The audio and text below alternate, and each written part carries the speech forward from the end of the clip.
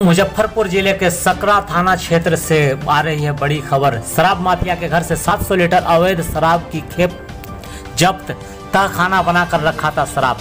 बताना चाहेंगे, मुजफ्फरपुर में शराब मामले में पुलिस की बड़ी कार्रवाई। शराब माफिया के नेटवर्क को तोड़ने में लगी पुलिस ने शराब की तस्करी करने वाले का एक गिरोह के घर से 700 लीटर अवैध शराब की खेप के साथ गिरफ़्तार किया। वहीं छः फीट गड्ढे बनाकर छिपाया गया था। शराब की खेप को सकरा थाना क्षेत्र की पुलिस की कार्रवाई में मिली है। यह बड़ी सफलता। शराब का कारोबार करने वाला आरोपी रविंद्र पासवान को किया गया है गिरफ़्तार। वहीं मामले में पुलिस की टीम शराब के नेटवर्क को भी तोड़ने को लेकर अब बड़ी कार्रवाई में जुट गई है और अन्य सहयोगियों को भी गिरफ्तारी करने के लिए कार्रवाई में जुट गई है सकरा पुलिस। सकरा थाना पुलिस की कार्रवाई में मिली है। यह बड़ी सफलता। तो कहीं ना कहीं 700 लीटर शराब किस प्रकार से पैकिंग और बोतलें रखी गई है, जो तस्वीरों से साफ़ है।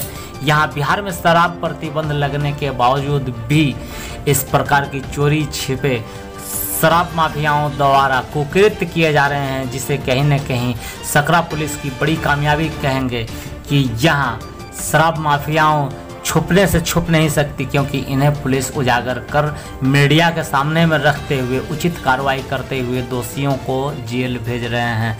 तो कहीं ना कहीं मुजफ्फरपुर ज़िले के सकरा थाना की बड़ी कामयाबी। पंकज कुमार सिंह की रिपोर्ट आँखों देखी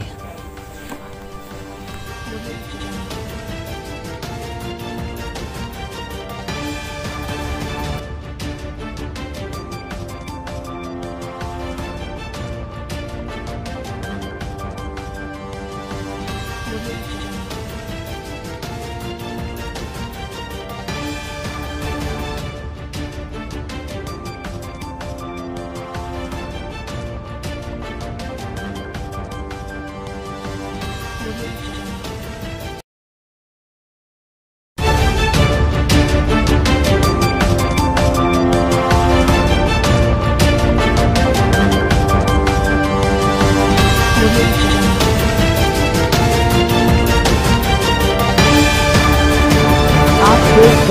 आँखों देखी।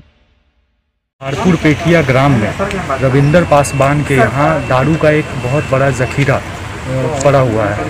हम लोगों ने इस गुप्त सूचना के आधार पे छापेमारी की। छापेमारी में रविंदर पासवान के घर और साथ ही साथ उनके घर के पीछे स्थित बांसवाड़ी में बांसवाड़ी में करीब छः फुट गड्ढे के भीतर से बहुत बड़ा, करीब 700 लीटर का हम लोगों को दारू का खेप बरामद किया गया। इस दारू के खेप को हम लोगों ने बरामद किया और साथ में रविंदर पासवान एवं अन्य को, जो भी इस दारू के रैकेट से जुड़े हुए लोग हैं, उन पर प्राथमिकी करके अग्रेतर अनुसंधान किया है। हम लोग जल्द ही ह्यूमन इंटेलिजेंस और टेक्निकल इंटेलिजेंस की मदद से इस पूरे दारू के जखीरे के पीछे जो जो लोग संलिप्त हैं, उनका उद्भेदन करके इस पूरे कांड को एक लॉजिकल कंक्लूजन की तरफ़ लेके जाएँगे। अभी सर कितने आदमी को गिरफ़्तार हुआ है? अभी गिरफ्तारी एक की हुई है, रविंदर पासवान की, जो जिनके घर से ये शराब बरामद हुआ है और जो इस पूरे शराब के लिए, शराब को मंगाकर सप्लाई करके इस पूरे कांड के मुख्य आरोपी जो बताए जाते हैं।